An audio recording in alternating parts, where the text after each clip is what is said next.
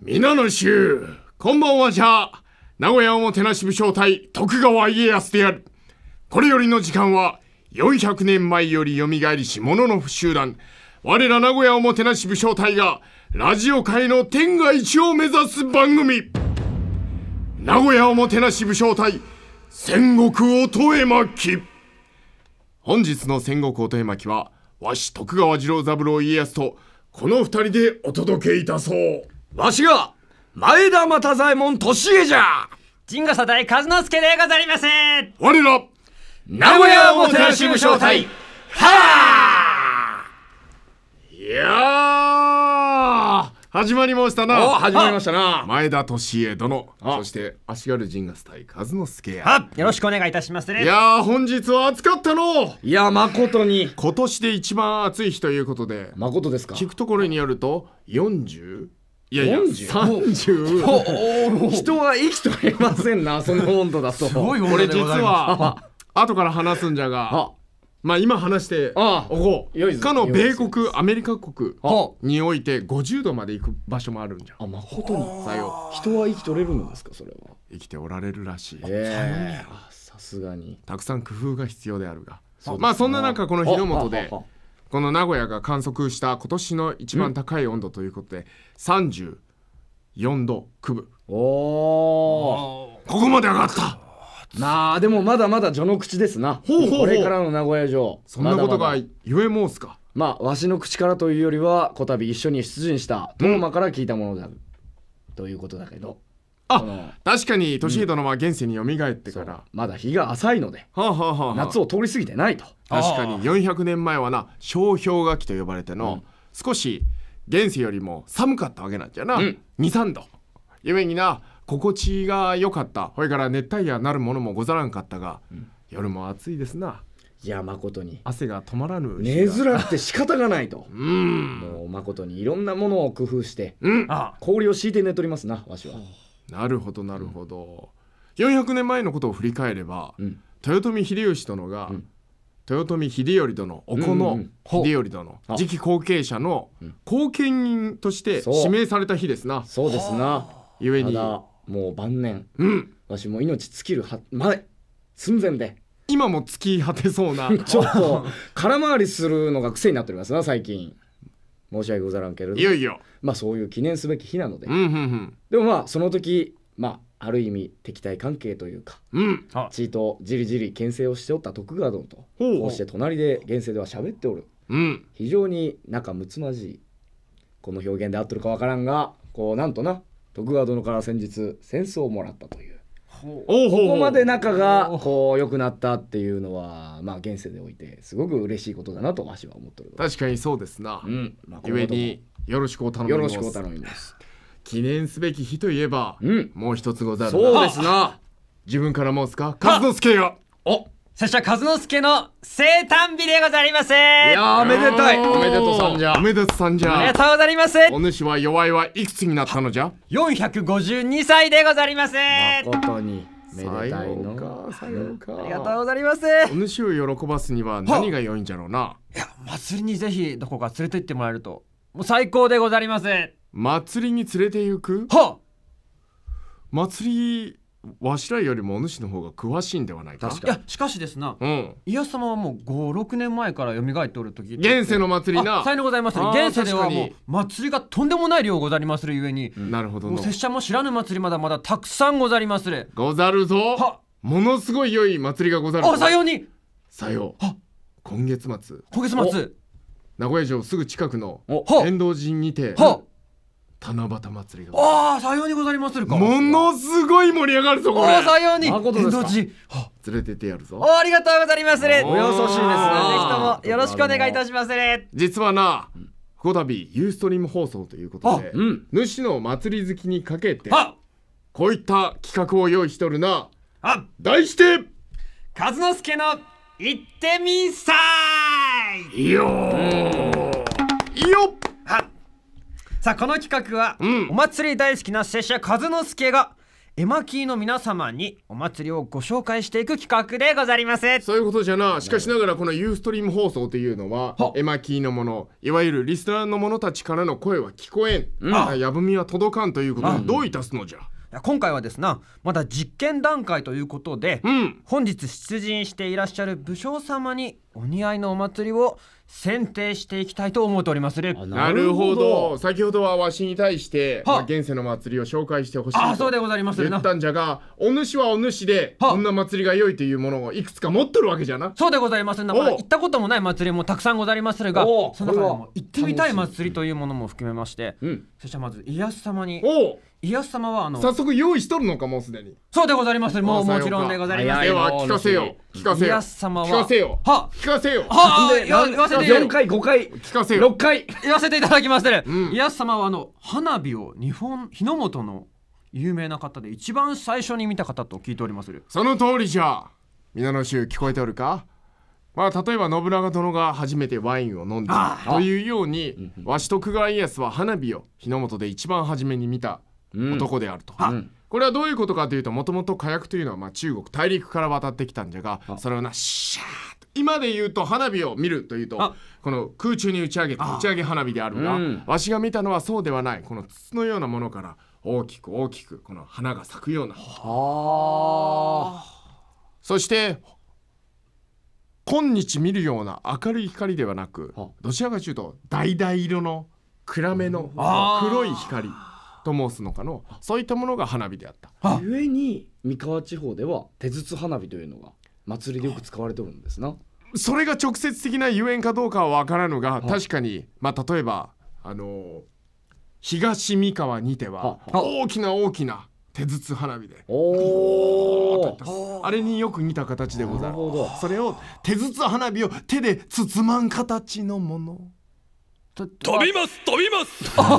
飛 んだ 飛んでしまうという。花火だけにでございまするなるほどな。さよ。花火だけにとはどういうこといや花火は打ち上げ花火は飛びまする上に。飛びます飛びますでござりまするああこれは和之助が困っておりますよ。ああ。徳川殿。あ失礼いたしました。いやそ遠んなくから笑い声も聞こえておりますけど。信長様の声が。大丈夫ですかこれなはそんな家康様にあのお。花火を初めて見たという家康様に拙者はですな、まあ続けるんじゃない。あもちろんでございます。チ押しておりますから。ャンスでございます。ね 信長殿が。さあ。鶴の一声で。さあそれではですな、あのこちらトヨタのおいでん祭りの花火大会。あ知っておりますご存知おいでウィブあーホー。ドロマイ。おいでミリすごいノリノリですな。オードロマイ。ありがとうございますそちこれは三河地方でも大変有名である。もう知っておりましたか。さよ三河最大級の祭り。さあこちらのですな最終日に花火が1万3000発も上がるということで。飛びます飛びます。そうでございます。飛びます飛びますでございます花火がでござりまする。あれ花火が1万3000発飛びまするゆえにあらこちら。また和之助が困っておりますけど 大丈夫ですかこれは？その1万3000発もござり信長ましたら。声が聞こえて。地上親方様の声が聞こえると話が止まりますな。そうでございまするな鶴の一声でさあそのこちら後から1万聞こえてくるぞ3000発もございます。うんので1万3000発ちゃん飛びます飛びます。飛びます飛びますでござります。るよりもたくさんいろいろ和な種類の花火何が飛ぶのじゃ？花火でござりますね。さあこちら。軍師郎やめてくだされ。さあそれではですなこの1万3000発の花火ほうほう。1万3000発もあるということはですなあもうそれだけたくさんの種類の花火を見ることできまするゆえこちらは家康様にぜひともと思うたのですが、もう知っておったのでございますか？いやしかしながらな確かに忘れておった。あさように。あ知っておるは知っとるけどわしにあつらい向けであるということを忘れてあーさようにございますか。花火に関してはなめっぽう思い入れが強い。特になこの打ち上げる花火というのはな背景の物語もわしはよく知っとるで玉屋とか鍵屋とかあるじゃんあります。るなあの物語もななかなか良い物語があるのじゃ。今度なまたこの放送内にてないたしたいと思うあーぜひともよろしくお願いいたしますぜねひ。ぜひ。に良い祭りを紹介してくれありがとうございます。会議であるぞ。ありがとうございます。続いては？さあ続いてはですなわし？利家様におもお！すすめの祭りがご楽しみざいますであるな。楽しみじゃ。んこちらはですなうん。喧嘩祭りというものでございまして。喧嘩祭り。おほうほうほちょうど良さそうとういやいやそんなことそうはござらんでございます、うん。こちらですな、うん。兵庫県松原にござりまして、うん。灘の喧嘩祭りなど良いのではないかなと思っておりまするがその理由を申せ。こちらはですね、うん。1の丸2の丸3の丸と呼ばれるうん。3台のみこしのはみこしのぶつかり合い、重さはもう2トン。うん。そこにですねもう鍛え上げた体の年様ぶつかっていってはよいので良いのではないかなと拙者思ったゆえにこちら進めて。大丈夫か和之助。年江殿の。あみこしにわしが生身でぶつかると。さようにござりますそれはあ目が細くなった。年江殿の目が細くなって鼻の頭から汗がかき始めたわしに再び天に帰れと。そんなことないでござります。でも行ってきます。言ってかない。言ってくださりません。い言ってかん。どういうことじゃ。やこちらはもう和之鍛え上げとおちょ待て待て。待ておはようございます。おはようじゃないえまちょっと待ってくれ。やめてくれ。これなんとかしてくれ。お帰りなさい。さあ和之助待ってるな。お帰りなさい申せ申せ申せ。うん。こちらはですねもう鍛え上げとる年江様にさらに良き鍛錬になるのではないかなと思うた良きゆえに鍛錬な。るもう2トンのところにぶつかっていってまいってもらいたいと、一つお主勘違いしとるかもしれない。はわしなこう見えて蘇ったとはいえ生身の人間じゃから。あ知っておりますね。もう2トン言うたな今な。さようにございます。の現世の重さの測り方じゃけれども、はあ。この重さのものに生身の人間がボーンとぶつかったらどうなる？行ってきます。そうじゃろ。行ってきますになるんじゃよ。行ってらっしゃい。まだ行って行きたくないんじゃよ。まだのわどこしどこへ？いや天に。飛びます飛び飛ます。びま飛ばないって。おい和之助なんとかしろ。和之助何が飛ぶのじゃ？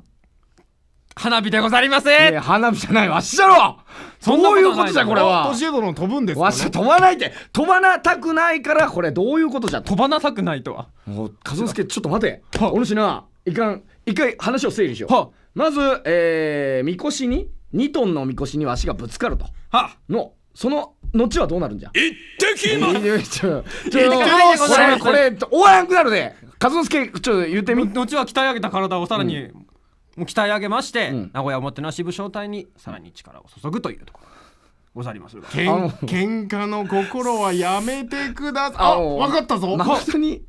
お分かった。こうやってうん小さなことでも喧嘩してしまう年江殿のこの鬱憤を晴らすべく、あそれにも良いかなと思いまするゆえに。ああはあはあはあ良いではないか。年江殿これいらんじゃろこれ。ちょっと徳川殿。あ。なんじゃその態度はさっきから。どういうことじゃ？えらい喧嘩ごじですな。喧嘩じゃないって！いややめてくださいませ喧嘩？はそんな年様にもう一つお祭りありまするゆえにおう。あのなんじゃ？釣り好きの年江様にもうもってこいのよう知っとるな祭りでございます。こちらはですな。豊浜の天下の記載鯛祭りお鯛祭り。あこちらもですな、どういった祭りじゃ？喧嘩祭りでございます。なんでお前は嬉しそうなんじゃ？えこちらもですな。こちらはしかし喧嘩祭りでございまするが、ん。普通のみこしではなく、ん。タイの形をしたみこし同士がぶつかり合うというものでございみこし同士がぶつかる。なるほど。ます。さようにございます、うん。い年江殿はぶつからんやこちらもできれば年江様にぶつかっていただいて。一度待ってくれな。はこれ、ま、もう一回話整理するとこのみこしとみこしの間にわしが挟まれてぐちゃっといくってわけじゃな。いや挟まれることはないでございます。俺はいくら鍛えとっても生身の人間が間に入るということはこれ潰されてしまうの。そんなことそういうことじゃろまた。ざいます。お主どんだけ生かせないんじゃお主。いやこちらはもう行っていかないでござい大ます。丈夫なのか？いっこれはてらっしゃい。こちらはですないやいやいや。さらにさらにでございます。年様だけではなく、うん。家康様にももってこいの祭りでございまして。うこちらの花火はですね、そのうん夜になりまするとタイのみこし、うん。タイのみこしを背に花火を見ることなるほど。非常に風情があるものでもわしの好きなものが二つ揃っておる。は二つと申しまする。と一つは花火。あもう一つはタイわしはタイがああ大好きであった。そうでございまするな。最もあつらい向けな祭りかもしれな。いあもうぜひとも、うん。こちらはですな、うん。7月の1819と行われております。おうさようか。てきます。いやうん。わしも行く。申し訳ございません。こちら今7月20日でござりまするな。もう終わっておりまするなんじゃと？あいやいやああ徳川殿が怒ったぞ。とできれば来年なのななどにも。うん徳川殿がご立腹じゃ。いや来年ぜひとも。来年までああ待とうりがとうございます。お優しゅうございます。危ない久し久しぶりにその目を見たな。りがとうございます。怖かったわしは。いやしかしながら和之助。わしのは良いがは。皆にそうやって紹介してくんじゃろ？そうでございまする。これ二人いる中の。は。一人は良くて一人はあつらい向けの祭り用意できなんだではないか。いやこちら、うん。ああどういったことじじゃこれは？うん。あ辛い向きでは民のやぶみからはそれぞれのうん。適した祭りを紹介していくんじゃろ？そそうでござりまする。ならんではないか全員にあつらえ向けの祭りないのか、あーあそれでしたらとっておきのものござりまする。なんじゃ？こちらはですな。ほあこちらはいかがでしょうか？うえなんじゃ急に台本 台本読み出したのに。顔まで変わりよって。こちらはいかがでしょうか？今週末7月24日金曜日から2月あ失礼いたしました。7 2月月2月2月。あー処されてしまいました。失礼いたしました。7月24日金曜日から7月の26日日曜日まで、久屋大通公園にて3日間にわたって行われておる CBC ラジオ夏祭り。こちらでござりますが 毎日さまざまな演奏者たちによる演舞があったり美味しい食べ物の屋台が出たりするとても楽しい祭りなのですが、なんといっても、うん。お7月26日日曜日には、ん。我ら名古屋おもてなし部招待の演舞の披露があるのです。よーしそしてですなさらにもうどんどん行くんじゃな。26日のん。午後3時頃からは我ら名古屋おもてなし部招待ののろしの間つまりブースと呼ばれる出店も出まする。急にどうした力なくなったけども。こちらはですね疲れたか？なんうとん上げて言うけ三英傑の皆様にお越しいただあき徳川殿皆様のご相談に乗ってくださるとか乗ってくださらないとか。いや乗るわ。それは乗るわ。あさように詳しいことはぜひ当日のお祭りにご参加いただきうん。確認してくださりませ、うんこれはな。は例えば信長との恋愛相談であったりなるほど。いろんな形の相談をは番組上でいたしておるが実際にいたそうということな参加者が実際にできると。さようさよう。あそれその場にて素晴らしい企画ですな。即興的に。なるほど。うん。いや楽しそうでございます。ということで皆の者よあ。7月24日金曜日から26の日曜日の3日間は久屋大通公園に集うのじゃ。うん。待っておるぞ。さあ続いては名古屋おもてなし部招待のあ告知がござるな。は。ではそれは私が。千戸徳川殿やめてくだされ。無本ですぞ。さあそれでは年家様お願いいたしまする。さあ7月25日には武士と武士わしらなりの夏フェスと題した祭りが行われる。絶プ名古屋にて行われるのでみんなぜひ来るようにまあこれ内容はどういう内容かというと欧州仙台おもてなし集団伊達武将隊と我らの共闘戦となる。まあいわゆる現世でいうコラボ戦じゃな徳川殿やめてください。邪魔をするでない。何をじゃこれ何をやるかというと、あのーまあ、コラボ戦と題してこのわしらの演舞を、まあ、伊達武将隊がやり伊達武将隊の演舞を我らがやると、まあ、こういうコラボならではの企画がたくさんご用意してある、さようさよう。そしてさらには盾あり舞ありまあ何でもござれのもうてんこ盛り企画と。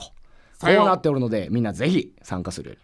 あとはこれ特徴としてはオールスタンディングといって、うんうんうん。みんな立って参加するゆえに我らとこううん。一体化しやすい、盛り上がりやすいこういう形になっておるのでみんなぜひ我らと一緒に盛り上がるぞ、うん。あ。りがとうございます。参加者まだのもの参加申し込みまだのものは7月25日名古屋ゼップ名古屋にて待っておる。さあ。以上。ありがとうございます年江殿お。どうされたんですかの急に慌てふためいて。わしなこの戦が始まる直前までこの言葉を逐一考えとったんじゃ。ですな。のこと細かに。それを徳川殿も横で見ておったと確かに見届けておった。なのにもかかわらずわしがしゃべる土壇場になった途端にこれ映像にも撮っておるからみんな後で確認せよ。わしのなこの紙面をポイッと ポイッとそれこそ天にも昇る勢いで投げ捨てたわけじゃな。いやそれはいい。もう一番許せん。この こたびの中で。和之助のさっきのわしの愚弄に対するものよりも許せん。日にならんと。もう火にならん。ちとなわなぜこの面前で皆の面前で恥ずかしいもんこんなに受けねばならんのか。年家様そんな鬱憤を晴らすためにもお。ぜひ喧嘩祭りに行ってくださりませ主本当に処すぞあもうもう失礼いたしました。もうもうじゃない。さあ年江殿お。喧嘩祭りに行ってくだされ。お願いいたします。それしかないんじゃな。わかりました。ということで皆の者うん。別れの時間がやってまいった。お。では最後に恒例の時の声を上げようではないか。あおう。うんうん。あ途切れておった。さようであるか。年江殿伝令が入りあ。先ほどの武士と武士の告知の部分が全部飛んでおったと。はうん。CBC ラジオ夏祭りの告知から飛んでおったということで。あやり直そうではないさあそれでは改めまして皆様にとっておきもってこいの祭りござりまする。こちらはいかがでしょうか？おおなんじゃ？今週末7月24日金曜日からほう。26日日曜日まで久屋大通りにて3日間にわたって行われておる CBC ラジオ夏祭り。こちらでござりますが毎日さまざまな演者たち演者の皆様による演舞があったり美味しい食べ物の屋台が出たりするとても楽しい祭りなのですがほうほう。なんといってもん。7月26日にはほうほう。我ら名古屋おもてなし部招待の演舞の披露があるのです。なるほど。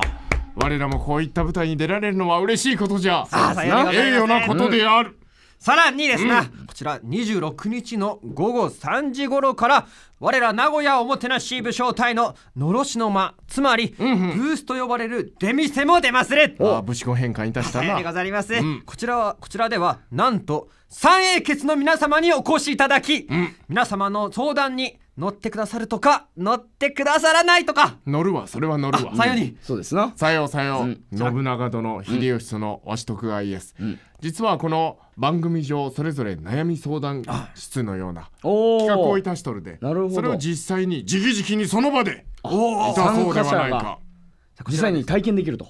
さようでござなるるほど。それは楽しみですな、ん。うんなこちら詳しいことはぜひ当日お祭りにご参加いただき確認してくださりませ、うん待っておるぞ。あ。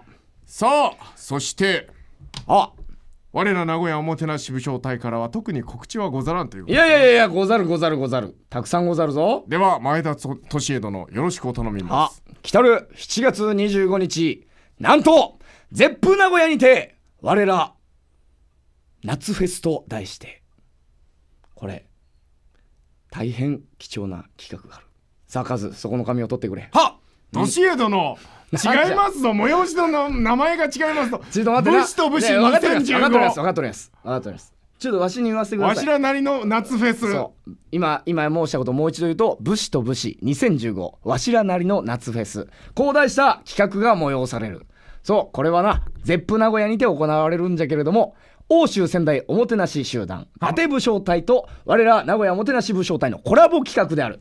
なんとこれコラボ企画がゆえにこの我らの共闘戦いわゆるわしらの演舞を伊達部招待が行いそして伊達部招待の演舞を我らが行うというこういうことになっておる。これ縦槍前槍のてんこ盛り企画さらにはオールスタンディングといって立ったままたも楽しめるゆえに我らと一体化しやすいものとなっておる皆の衆ぜひ本番は共に楽しもうぞ。さあ参加申し込みまだの者は7月21日。間違えた。7月25日。絶風名古屋に集え。行ってきます。お願いいたします。以上でござる。ありがとうござった俊恵殿りがとうご素ざいます。晴らしかった。映像見とる者たちもなよく分かった通り。俊恵殿この髪がなくとも言えるではござらんかそうですな 今この音何かわかるかな？皆の者髪をくしゃくしゃと丸めておる音。それは？これはわしの腹の中の怒りの音じゃ。誰に怒っとるかというとこれ隣におる徳川殿。なぜ怒っとるかというとわしが用意いたしたこのカンペなるものをこのものは見事もバーンとぶきもう言葉をしゃべれなくなってしまった。そんな年恵様におすすめの祭りございましてこちら喧嘩祭りでございます。喧嘩祭りのみんな。ぜひとも行ってくださいもう行ってくるませわどこにでも。しかしですなこちら、年恵様だからできることでござりましてお皆様はちょっと危ないゆえにみこしにはぶつからぬようにお主みんなが危ないものをわしに進めたのか。良い子は真似をいたすな。お良い子は真似をしん。悪い子は真似をいたすな。それはどういうことでござりまするか？いやいやもうこれ突っ込まんでええんじゃ。は。このまま流してくれ。は承知いたしました、流しまする、うん。では皆の衆そろそろ別れの時間と相なった。あでは最後に恒例の時の声を上げようではないか。ほれ拳を掲げよう。我らと共に明るい未来に向かっていざ出陣。あー!さらばじゃ